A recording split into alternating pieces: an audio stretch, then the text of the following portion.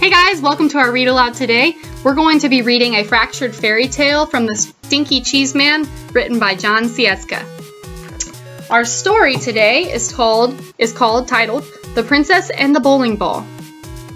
Once upon a time there was a prince, and this prince's dad and mom, the king and queen, somehow got it into their royal heads that no princess would be good enough for their boy unless she could feel a pea through 100 mattresses so it should come as no surprise that the prince had a very hard time finding a princess.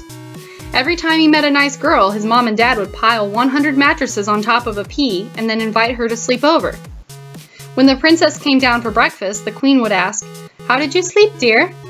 The princess would politely say, Fine, thank you. And the king would show her the door.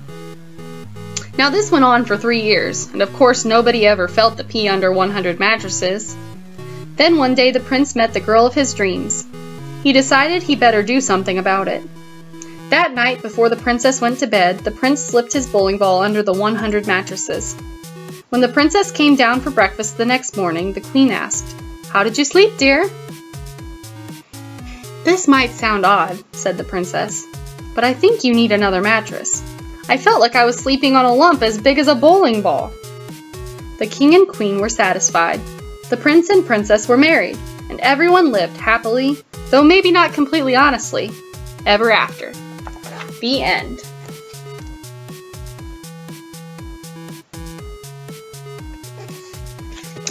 Was the prince honest? No. Did he get to marry his princess? Yes. Stay tuned for next time.